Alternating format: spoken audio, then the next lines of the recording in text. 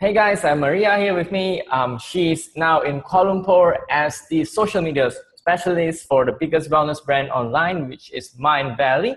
She's also worked for Google, so she's worked both in Europe and now here in Asia. So Marija, tell us more something about yourself. Hi everyone. So I started my career as a social media specialist uh, because I was fascinated with the field and it was really new and I saw potential in it and I continued until now. It's been four years that I've been doing social media.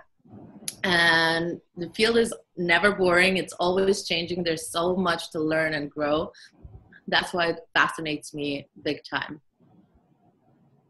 Cool. Um, so tell us more. Uh, what's your role like as a social media specialist?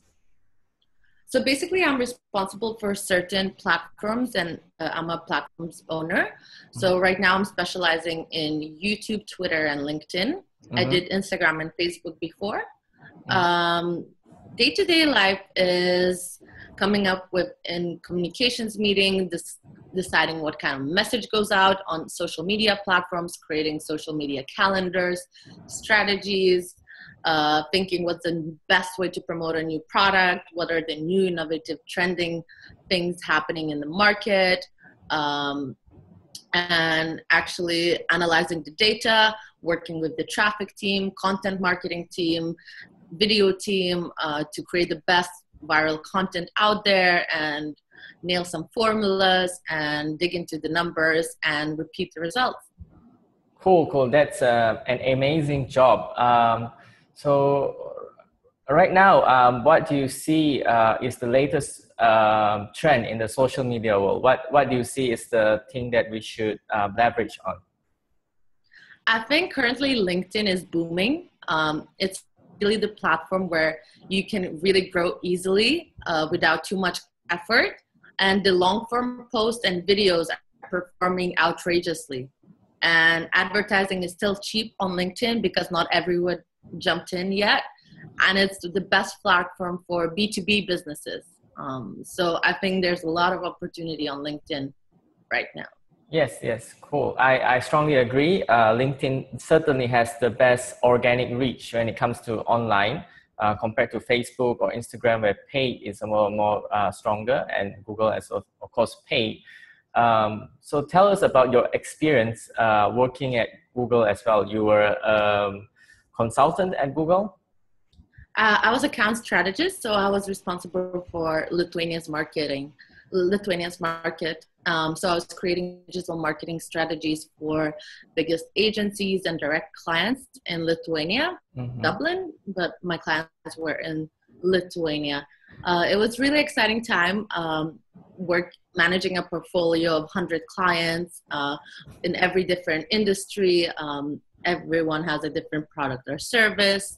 Uh, I've learned a lot um, time management skills, Google AdWords, uh, working with directly with clients. Um, it was definitely a phenomenal experience. Cool. Um, being an expert in Google AdWords, um, what do you say are the common mistakes that um, small medium enterprise makes when they get into uh, Google AdWords, or any common mistakes that normally any any organization makes? So it has a lot to do with their way they optimize their campaigns. Uh, people normally don't dig, dive deep into it. There's a lot of customization that is available for people, mm-hmm. and the platform is always changing. There's a lot, always a lot of new things that are available that help to optimize their campaign. But like sometimes people uh, don't invest enough time in it because everyone's busy, and some people don't don't do it as their full-time job. So i think optimization of the campaign itself and just knowing your goals being straight with your goals what do you actually want to achieve with your campaign is something that some people want everything to be achieved with one campaign and they they don't separate them accordingly to the goals. Nice nice nice stuff so since um, I looked at your profile, you worked in the Netherlands, you worked in Dublin, and you worked in Asia. So what's the differences with working in two entirely different cultures and continents, actually?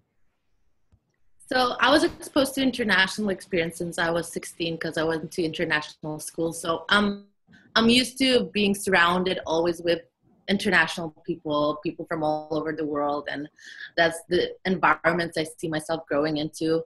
And to be honest, I don't think I had a culture shock coming to Asia. I was just amazed how amazing it was, and I just took it all in as a good experience. I do think I had a reverse culture shock though when I moved to Dublin um, because I missed Asia. Um, so it was actually a really interesting phenomenon, like that it happened, not the culture shock moving to Asia, but the culture shock moving back to Europe. Yeah, the cold weather, I, I, I couldn't take it. Uh, I got used to the everyday sun Sunny, yeah. weather. Yeah, and uh, I feel people just happier in Asia. Really? And I think, yeah, I think it's contagious. And um, yeah, Nice, nice. What what do you like about working here in in Kuala Lumpur? Because you've been in Kuala Lumpur almost like four years now. Yes, yes. Um, I really like that um, there's a big expat community Okay. in Kuala Lumpur, and uh, people in the Mindvalley, the company I'm in, people are really following the trends and the new opportunities, Mhm. the uh, cutting edge technology, and um, everything is very advanced. So, because our market is America. So that means that um, we really tailor our digital marketing towards that audience, and we have to be on point with all the newest trends in the market, and um, that that leaves me very excited um, to always learn and grow. So it's a really uh, stimulating environment. Um, that's why I really enjoy it. Nice. Uh, Mindvalley, uh, for, for my audience, Mindvalley is one of the biggest brands uh, in terms of content for wellness, content for personal development um, online, where they sell a lot of digital courses as well as a, a lot of other products. Um, so, what can you tell us is the sort of the um, strategy of, to success for Mind, Mindvalley's uh, social media and digital presence? Uh, like maybe a few tips that Mindvalley has has uh, applied. So one thing we did, we nailed down the formula for, formula for viral video. Mm-hmm. Uh, so our videos normally generate on Facebook around a million views, um, and we produce them every day. Um, and the formula basically was we nailed down the thumbnail because the first thing you have to do is just get people stop scrolling through the feed. So we follow the best practices for the thumbnail, uh, the format of the video. You add the subtitles because most of the people watch it without sound. Um, then you just it's a two around two minute video um, that you want to produce because people don't stay as long as on YouTube on Facebook. Um, another thing that you really want to do the the key in the end is content. So you really you don't want to bore people with an hour presentation when actually the only good thing was two minutes of a conversation. So you really nail down to it. You bring out the subtitles the big text on the screen. You show the face um, and you have a good end slide that encourages people to follow you or comment um, on the video so that really worked very well for us for growing social media uh, our Facebook page uh, to be precise. Yeah. What I see from your paid uh, content as well as um, some of the other content online, uh, because Facebook essentially is a feed media, so you need to capture the attention before you pull them out for the long form content. Um, I see a trend of micro content. That means like if you have a keynote, uh, you pull out just three minutes or one minute of the best parts of the keynote as attention grabbing um, content for Facebook. And uh, you get the best chunks of it just to grab people's attention and to give them the information they want. And if they subsequently want to subscribe to the online training course or the long keynote, that's up to them. So, what are your thoughts on the, the creating micro content? So, you mean micro content shorter than the three minute video, Yeah, or can be the three minute video. Yeah. Yeah. So this is really like a lead magnet. Like you just really capture and the attention of the people and you get them interested, and then you offer them a, an opportunity to see more of that. So it's really what makes our page grow, and it's essential for your marketing social media strategy. Nice. Um, one of the achievements that you uh, told me that you achieved for Mindvalley is that um, you grew their channel to um, over 100,000 subscribers. Is that right? Actually, recently it grew by 235,000. So yeah. Um, tell, tell me what, what are sort of a few um, things that you, you've, you've done to achieve the growth in subscribers? So the important thing is to dive deep into the platform and really focus on it because we had a channel for four years and it was almost not growing at all. A really stagnant growth. Um, but once we focused on the platform, I took ownership of that.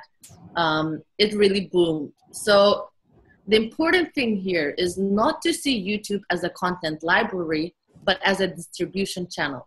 So it's not just a place where you upload your videos that you use on your pages. It's actually something that people look forward to and they spend a lot of time on this platform. So utilize it. Use it as a people of commun- community of people on that platform. Um, so you have to create a cadence you have to totally master your thumbnails. It's super important. Certain companies have meetings for YouTube thumbnails. It's that crucial because you want to increase click through rates. And um, in the end, it's really important the watch time, the metric that you should really follow, uh, duration, how long people watch your video, because this platform is generally um, acceptable of videos of 10 minutes and more 10 to 13 minutes 10 to 13 minutes is the best practice. Because the longer people watch your video the higher you have chances to appear on the higher end and optimize for youtube tags. So there's a few tools like vidiq use and follow what your um, competitors are putting as their tags. And look what suggested videos tags are um, so there's a lot of things you can do around youtube. It's, it's definitely a platform um, that people are focusing on today. Uh, people spend more and more time on this platform. So there's a lot of potential because the value per lead from this platform is really high because the leads are very warm because people spend a lot of time watching your content. It's like free advertising. Like organically we grew that much. Yeah a lot of the best uh, YouTube content creators tell, tell me that they don't spend any paid advertising on YouTube, and uh, they also, um, like what you said, you spend you have meetings for YouTube thumbnails. That means uh, because you don't want to spend like two hours creating a video and then only ten minutes with the thumbnail because that's what's going to get you the traction. Um, yeah, interesting stuff when it comes to the content and what I've seen on YouTube for for Mindvalley, it's uh, it's um, pretty good. Um, do you um, what other social media channels do you um, do you manage for for Mindvalley? Uh, YouTube, Twitter, and LinkedIn. I used to manage Facebook and Instagram. Oh, okay. Um, what? So I'm the... focused a lot, focused a lot right now on growing Lakhiani, the yeah. Yeah, the the founder's um, chan, uh, presence, right? Correct. Yeah. Um, okay. Yeah. So what what is um, do you have a growth strategy for for Twitter?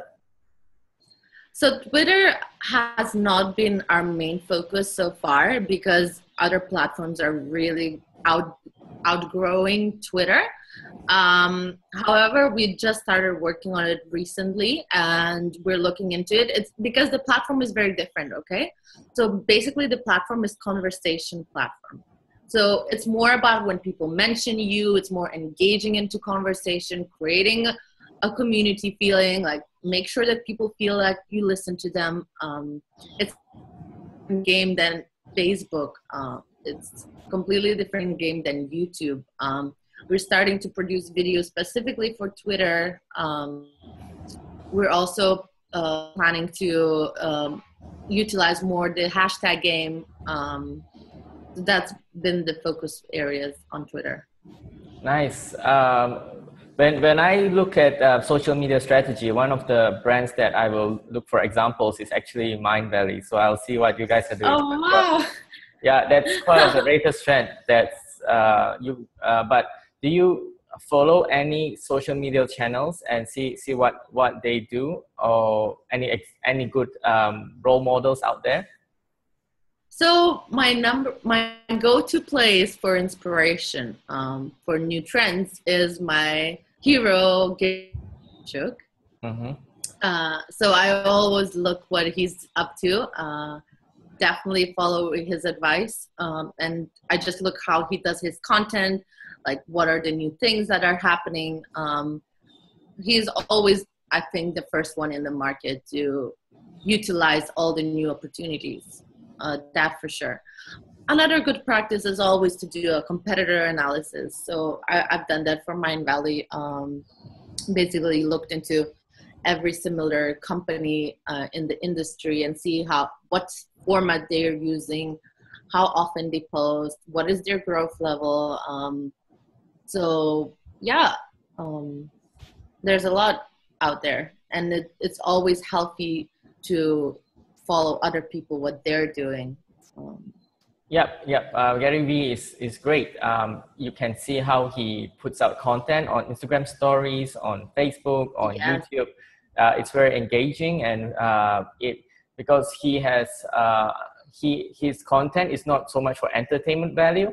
So it's a very good model because he gives a lot of business advice and personal development advice. So um, the way he distributes content is quite interesting. Uh, he goes sort of like a more like an influencer uh, the way he distributes content but the content that he gives has a lot of value um, yeah i do follow gary gary vaynerchuk as well. Um, as uh, for your yourself do you um, try to grow your personal brand in any other way? And uh, do you do you do your own personal brand growth? So i had my own brand. I had my own company, so I I was focusing on that. and growing that it meant that I have to become a persona as well because I was the face of the brand. Tell tell um, us more about your your personal brand, Spark, right? Yeah, Sparks. So I had an e-commerce lingerie brand um, that was ethically produced in Lithuania. I managed it while living in Malaysia and in Europe. Um, so we had quite a big team, 10 people. Um, and then um, we tried to run a um, crowdfunding campaign for it. And so I had to, I was very active on social media at that point. Uh, and we got a lot of attraction. We would get a couple of thousand people on the website a day uh, organically. Um, yep. Nice. Um, so, what what are the ways that you used to grow your personal brand? Was it mainly Instagram and uh, Facebook and your your own connections? How was it? Mostly, uh, I attend a lot of networking events, oh. so I, it's a lot of face to face meetings. Um, another thing is I went live on Facebook and Instagram all the time uh, because it was the highest engaging type of format and you actually engage into conversation, you are able to provide more value, and the algorithms prefer that type of format, so they boost it up. Um, so that was really um, the most successful one. Like when I would do photo shoots, I would go live, people would interact, share, and it was a lot of fun. Yeah, cool, cool. Any um, tips you can give uh, my audience in terms of Instagram growth? For Instagram growth, uh, right now, the important thing on Instagram is really your visuals. Um, you really have to create your branding deck mm-hmm. that you create a one consistent type of design of message you want to send and um, creating a brand filter is very important brand filter is is for example the feeling that you want your image to project for example happiness so every image has to reflect that feeling.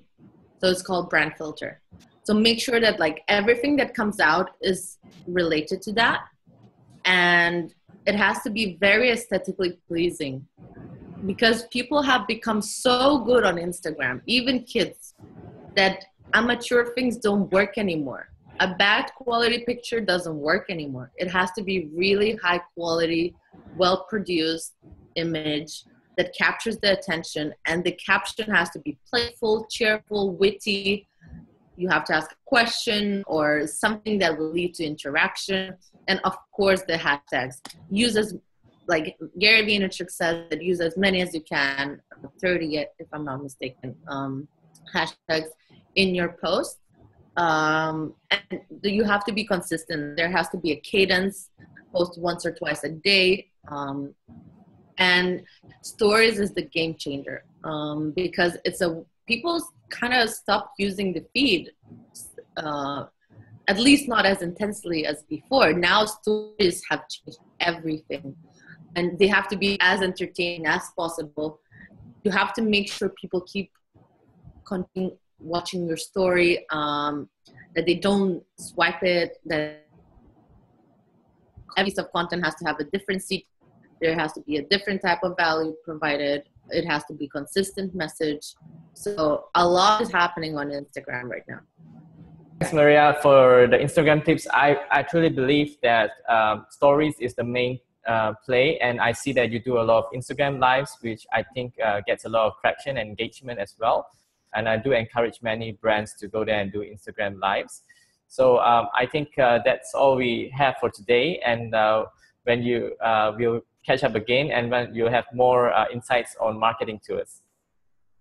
Sure. Thank you so much. It was pleasure. Thanks. Thanks marija